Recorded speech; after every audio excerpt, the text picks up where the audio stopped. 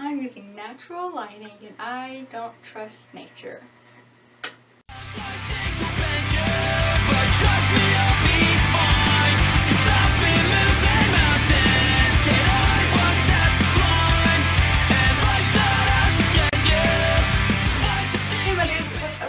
And today I'm telling you 10 facts about me that's related to like bands and stuff. Number one, the only, like the first band that I can remember liking is All Time Low.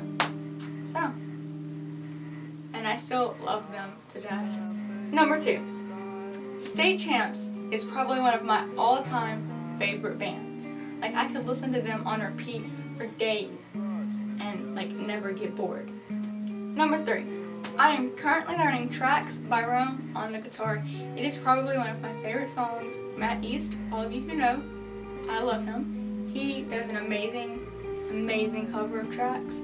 So I'm basically like learning from him because he plays it really like clearly and really well. So I learn it. And I'm actually kind of decent.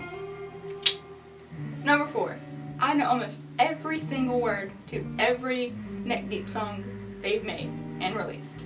Like, all of them. I know majority of the words in all of them. I love Neck Deep so much.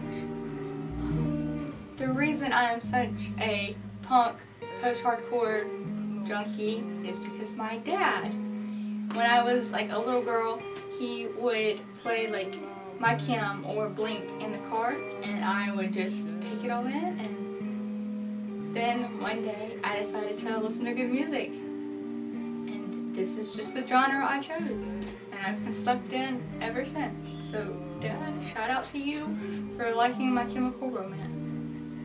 And I can, fun fact, this is a fact video, um, I can remember seeing the album cover to one of their albums. I'll show you the album cover in a second. But I can remember thinking it was like super scary. Like, I was terrified of the album cover and I don't even really know why. The album cover isn't scary. But as a little kid, Dad would have the album cover with the album in the car and the album cover always freaked me out. I thought it was the scariest thing. But now I'll show you the album cover. Number seven is really embarrassing, but I'm not ashamed whatsoever. Remembering Sunday by All Time Low is like my sad song. It always makes me cry. Like I could be feeling on top of the world, I could be having the best day of my life, but Remembering Sunday comes on and I'm going to cry. And I don't know why.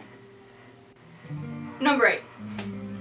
Collide with the Sky by Pierce the Veil is probably one of my all-time favorite albums ever. Like, out of all the albums I listen to, out of all the bands I listen to, Collide with the Sky by Pierce the Veil is like in the top 5. I can listen to it on repeat forever, and I do.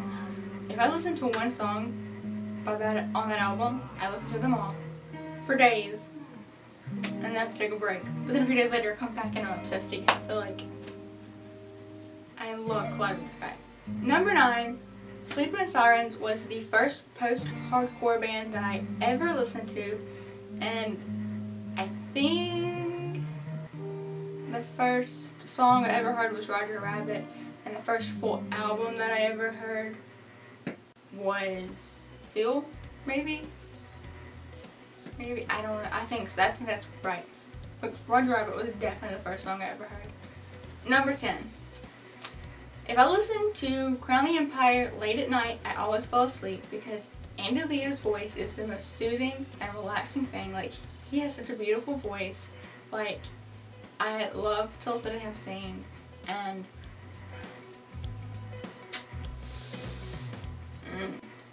I just fall asleep. Like, even if I'm listening to like not a calm song, even if they're like screaming their heads off, I'm just like, good night, I'm dead. Because his voice is so good.